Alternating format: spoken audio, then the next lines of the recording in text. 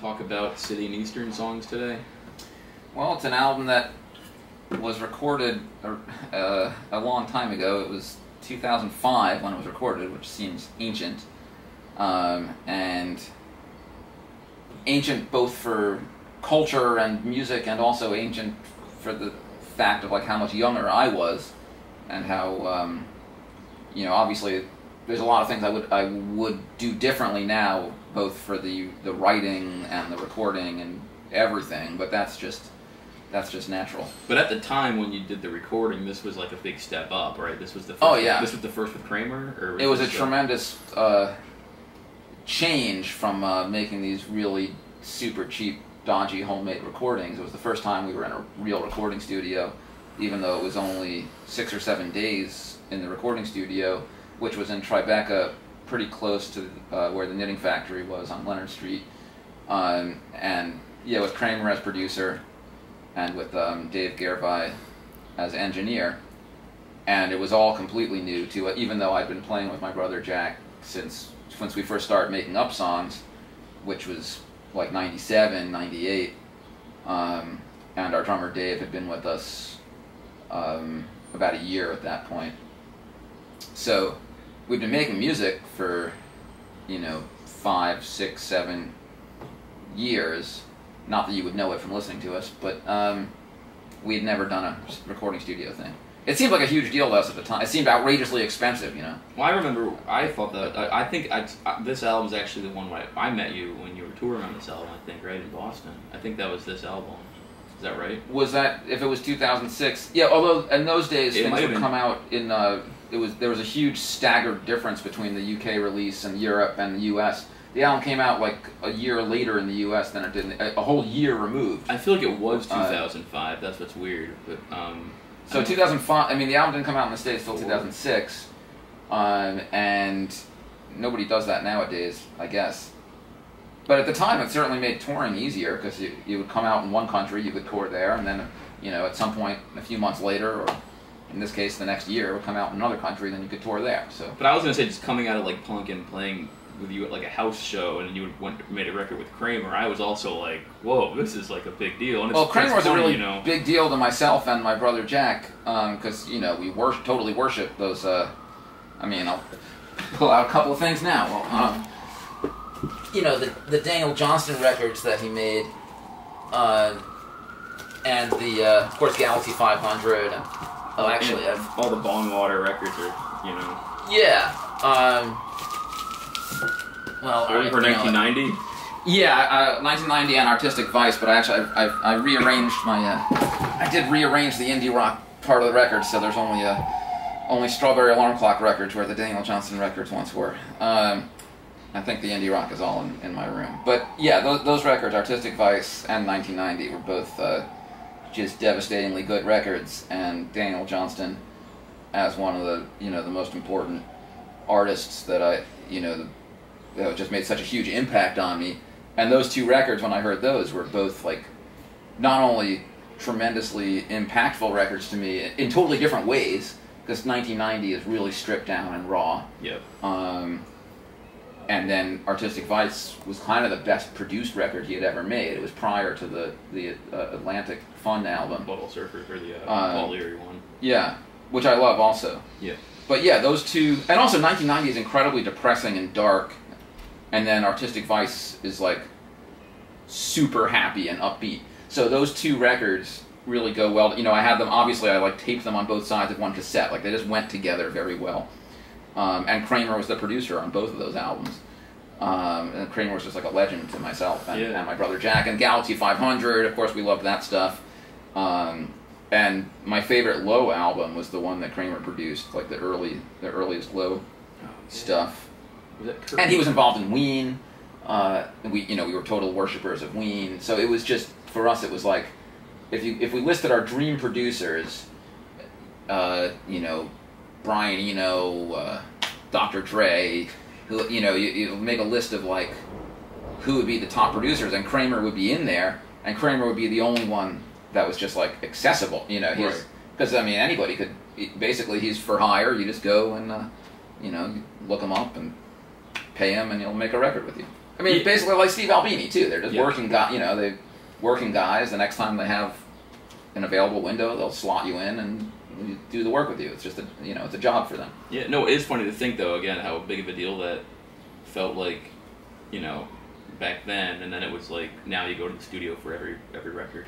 this Yeah, now- going to like this was the record where you went Yeah, to the studio yeah, for the you know out of the- absolutely. I mean, and it was partially just uh, changing technology because I didn't have any friends that had a studio at that point. You know, now it's like I have friends that have recording studios, but I, you know, at that time I had friends that had home recording setups.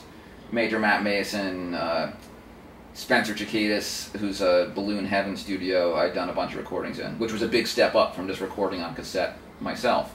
You know, he had Pro Tools in his living room and mics. I'm glad you mentioned olive olive juice, right? Is that uh, because that's a good segue into um, Williamsburg, Will Oldham Horror, Oh right, Major Matt reference Mason, going yeah, to going to Major Matt's Major too. Mats. I guess I wanted to get into the weeds. Um, some factor. I, I just had some like factor fiction, you know, questions for the for the for the YouTube audience about, especially about that song. We can go into the record, but um, I guess that's the first question. What record were you remastering at that time? Because this was only your third record.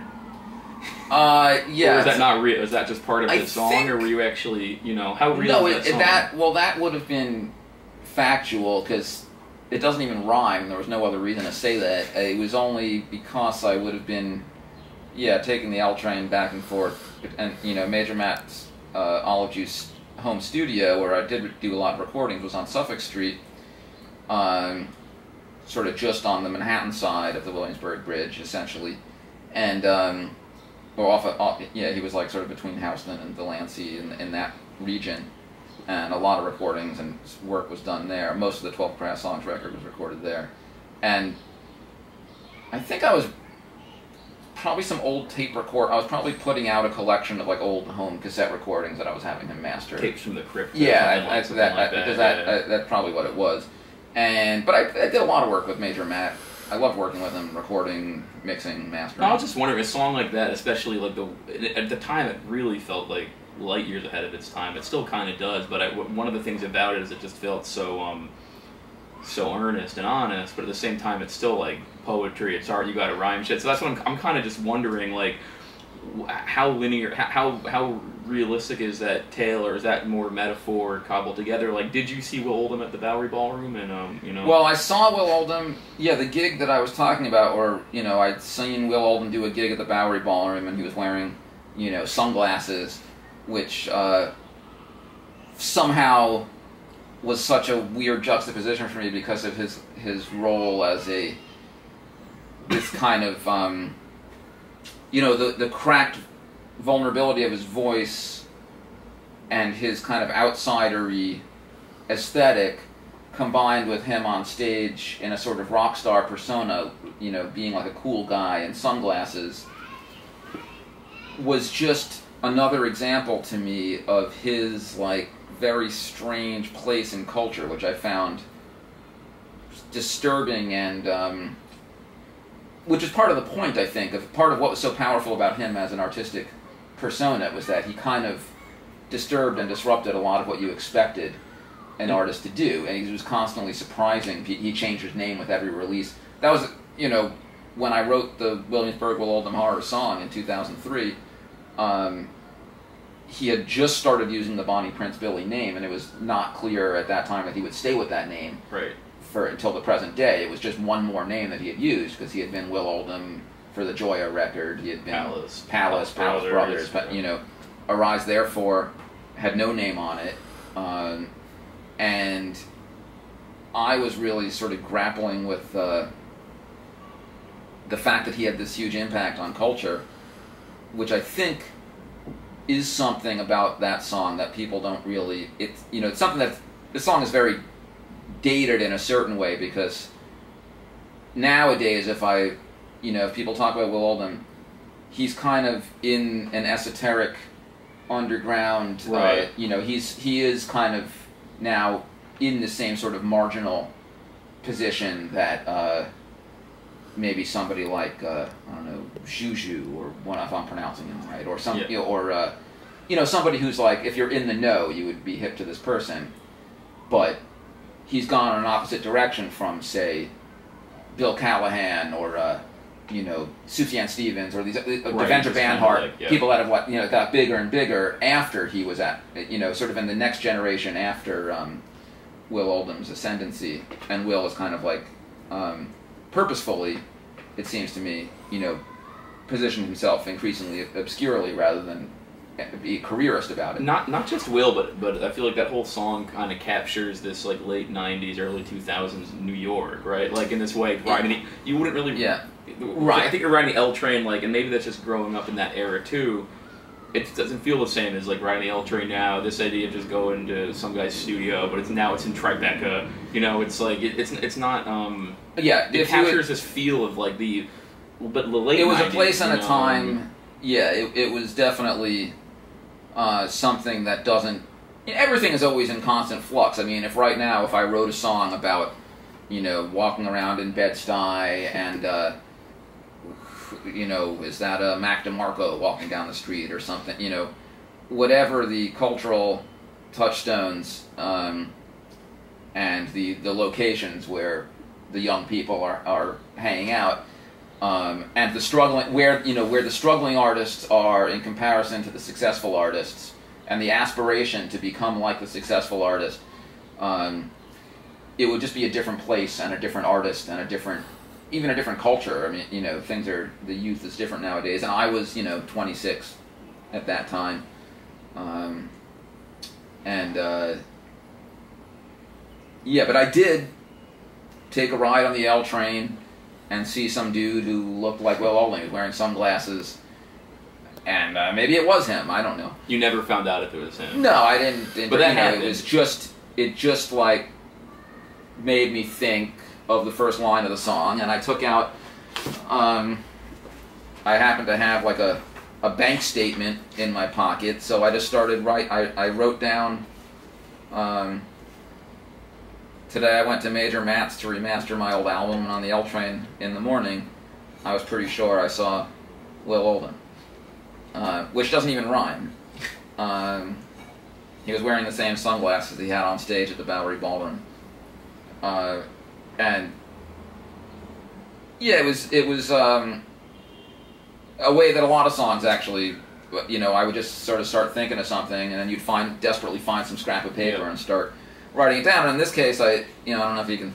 So I you know I just kept writing and writing all over this uh, bank statement, and then by the time I just had to keep sort of stopping and coming up with some other line, and the story just kind of developed. And then by the time I got to my girlfriend's apartment in Greenpoint, I had like ninety percent of it written, and I just picked up the guitar and like the first you know like I just needed a couple of chords, two, three, four chords, didn't matter. So you really, Um, so you really saw this guy on the train that looked like Will, and was just like, or was it something like a few days later you like recollected? I think it was just right there. I just started the the first line, and it certain songs do uh,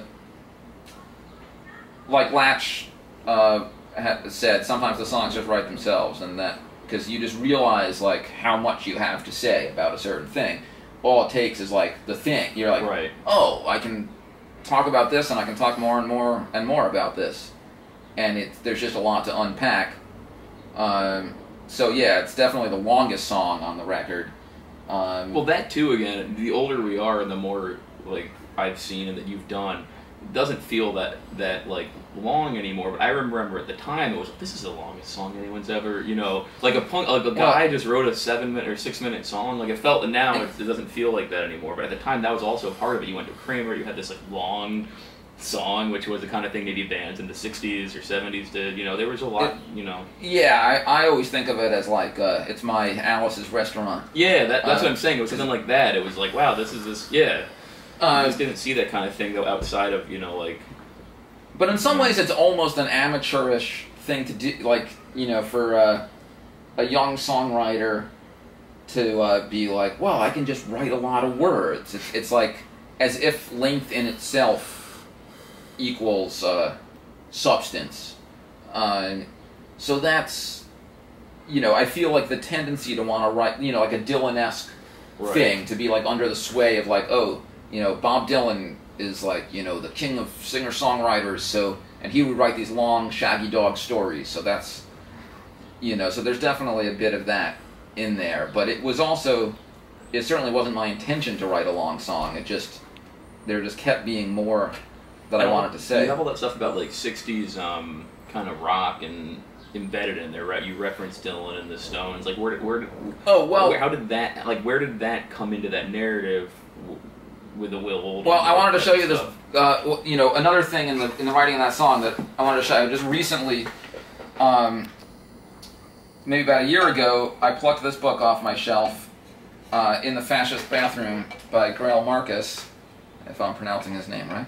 Um, and when I flipped it open, I weirdly suddenly realized that part of the Will Oldham song uh, was inspired by this book because the very first uh, the very first chapter, the very first page of the first chapter, he's talk is a review that Marcus wrote of the Rolling Stones' "Let It Bleed" album when it first came out at the end of 1969, um, and he says right here on the first page. Um, it's a long way from get off my cloud to give me shelter from I can't get no satisfaction to you can't always get what you want. Um, and that's where I got that line, uh, you know, the Stones in 65 want total satisfaction, but, you know, by 1969 they see that there's grace and just, uh, just getting what you need. Um, and I totally forgot that I got that from this, that this, and uh, this book is inscribed, uh, happy 22nd birthday, uh, inscribed to my brother Jack, who turned 22. It, was like right around that time. It was late uh, 2002 when he turned 22. Um, so this book was given as a gift to my brother, and I must have just picked it open, you know, flipped it open to the first page, and you know, it was uh, early 2003 that I wrote that song. So it was, um, you know, I totally forgot that it came from from uh, that idea that I stole from Greil Marcus on the first page of this book until I picked this book up recently, you know, maybe about a year ago on the shelf, and uh, was like, "Whoa, that's that's where I got that idea from." Yeah, I mean that's that's that song still I think is like that's kind of I think that's the centerpiece of this record. But that's another thing. Like, what gave you the idea to kind of not you know nothing on the back and then you put all the track listing and UPC on the front? Was that just kind of a you know Well, I were just- you going for something or were just kind of like Um, you know, I was transitioning from doing my cassette recordings, for which I had always done these packaging, you know, fold out comic books and stuff when I was making my own home cassette albums, and uh, making do having albums come out on Rough Trade on CD. I was for the first couple albums, I was just like, how can I do this as cheap as possible? And then when I realized that people were still going to have to pay regular CD prices, it didn't matter how cheap the packaging was right?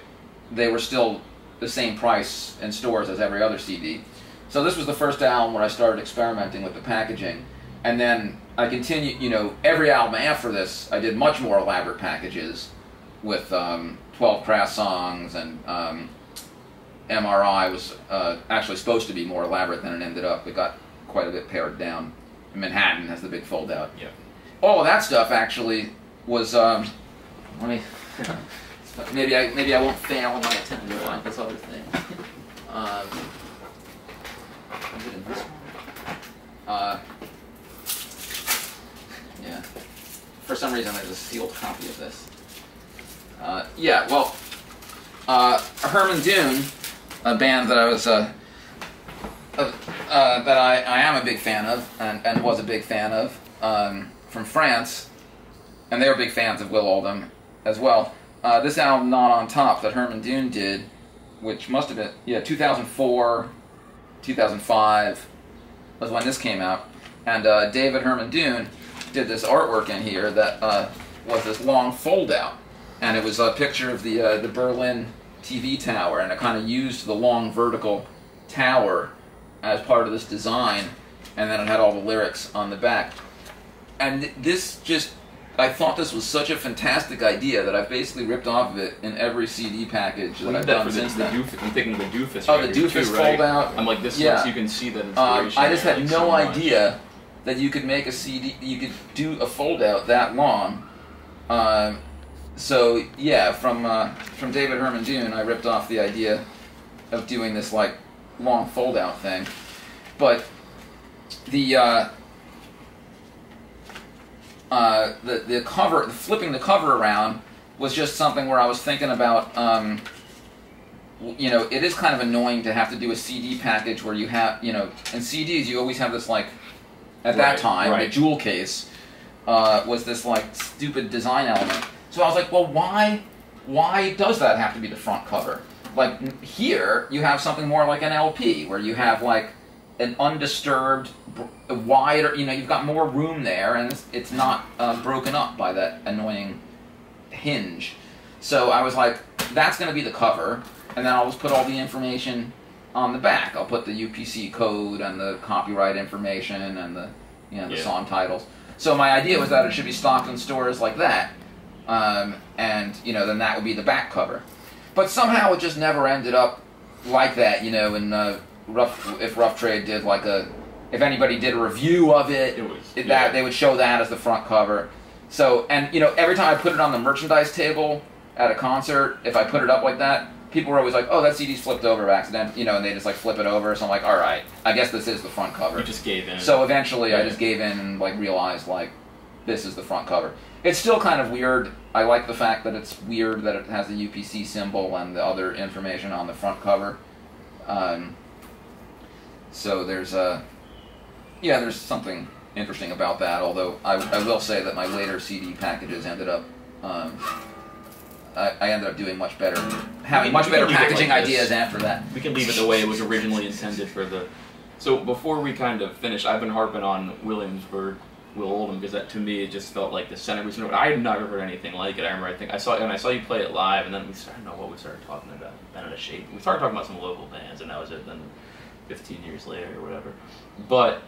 But um, that's my when I look back at this record, I just think of hearing that. But how about how about you? Like, what's what songs on there do you sort of and because there's so it's such a pers all your records are so personal so i'm sure it's like got this time and place element to it for you but like when you look back at this one or when you think about it like Well, it was really for the development, you know, me like kind of learning how to play guitar a bit better, and um, it was a huge step up in musical quality for the band, um, just light years beyond what I've been doing with my brother Jack, just as bedroom recordings. And a lot of that was down to uh, drummer uh, Dave Beauchamp, who was, um, you know, had just joined. This was the first album that he had recorded on, and the uh, the skill in in drumming. You know, he was by far the best musician in the band, um, and he really brought it to another level in terms of what we could do with rock songs. You know, we had always been like, you know, I would do my sort of acoustic folk songs, and then I would like rock out with Jack in a very kind of raw and punky way. And then we had our friend Anders playing drums with us for about a year and a half in there as well, maybe a couple of years with Anders. But he was more of like a jazz type drum. We were just like a weird mishmash Yeah. with Anders, um, even though we, you know, he did a lot of great stuff with us. But Dave was like, in terms of being a rock drummer, it just escalated the uh, the power of our. We finally sounded like a real band. So for me, you know, when I revisit these recordings, I hear how you know how still rough around the edges myself and my brother were, but the drumming, Dave's drumming, is like it sort of showed us whether we realized it at the time or not. It was like we are now like a better, we're like a real band now, uh, and it was kind of the first time that that recording in a studio with a you know with a guy who really knows how to play drums in a real studio with an engineer. Um, it was pretty different from the kind of Daniel Johnston home bedroom recordings that um, was pretty much my world for the first few years of making music. Um, and I thought, wow, like we're just getting better and better at the, we're getting more fans, we're getting better at the band, um, and uh, you know we're touring more and more. But looking back on it, I can really see how much uh, Dave, as a, entering the picture as a drummer, how much he was a big part of that escalation. We did a show open for the fall. Um, it was one of our first shows with drummer Dave um, around this era, and it was like we held our own as a rock band in the context of like opening up for the fall, at a rock club, and I was like, felt like you know, felt to me like we were like an awesome rock band, and I was like, this is a new feeling.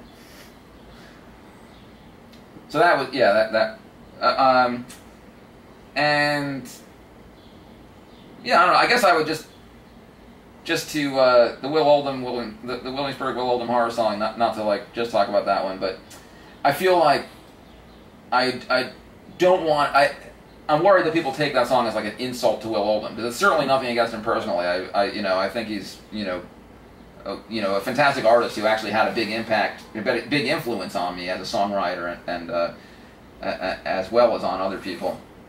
But um, yeah, it was more just about the uh, aesthetic that he represented that I felt like I wanted to see indie rock. You know, indie rock to me was something very different than that. I was, you know, the uh, the vulnerability and the power of um, expression that I that that you know the, the sort of humbleness that I loved in, say, Sebadoh, Yo La Tengo, Daniel Johnston, that wasn't about being a cool rock guy wearing sunglasses.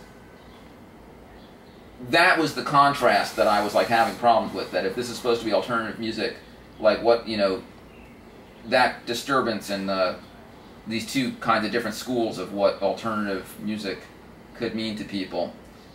Um, and it wasn't just the sunglasses. I mean, the sunglasses were just part. The whole aesthetic of royalty, uh, the royal stables, the uh, you know Bonnie Prince Billy, his uh, and in his lyrics as well, there was like this kind of uh, kill or be killed, you know, uh, aspiration to strength and uh, you know royalty and you know th- this kind of um, hierarchical um, sense that I want. I do want to write a whole essay about it someday.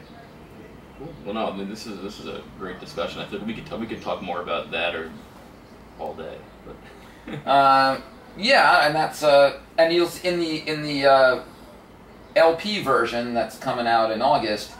I've also got you know I tried to reassemble the whole list of tour dates that uh, we were doing during this era, 2005, 2006, and it's kind of crazy to look back on so much. We were touring. Uh, you know, we would do a tour opening up for Adam Green, and then we'd go right back to the same areas. You know, opening up for Scritti Politti, and then I'd go back again, playing on my own, and then you know it was like, how many times can you play Chicago in one year? It was like it was ridiculous. It was like I was starting to become buddy buddy with like the sound guy, the Troubadour right. in L.A. or something, because most bands tour a place once a year. But I was doing so many support tours, starting really in that era. Um, which kind of reached its pinnacle around 2008 when I was just, you know, uh, touring.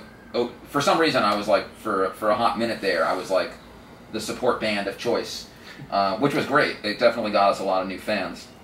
But um, yeah, it was just crazy to assemble all those tour dates to actually see what we were doing during the time when we recorded yeah. this album. And I was like, man, we were pretty busy. No, it's cool to look at. That's, uh, I'm excited, you know, for that package to come out. It's uh, it's got that, and it's got the a replica, facsimile of the lyric sheet. Yeah, a nice uh, two-sided copy of the uh, of that Will Oldham lyric sheet, um, which may or may not be decipherable to read. My the scrawl that I wrote that's as I was as I was walking down Bedford Avenue, like scrawling one line after another.